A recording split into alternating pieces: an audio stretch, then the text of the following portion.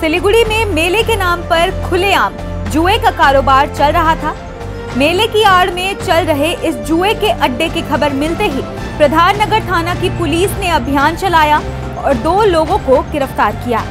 आरोपियों का नाम संतोष शाह और संजू भुइया है। जानकारी मिली है कि समर नगर इलाके में एक मेले का आयोजन किया गया है।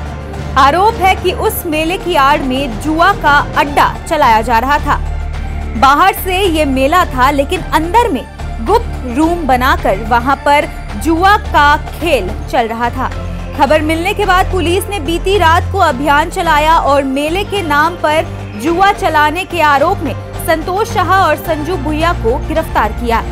पुलिस को मौके से कुछ नगद रुपए भी मिले हैं। आज दोनों आरोपियों को सिलीगुड़ी अदालत में पेश किया गया है। पुलिस पूरे मामले की जाँच कर रही है।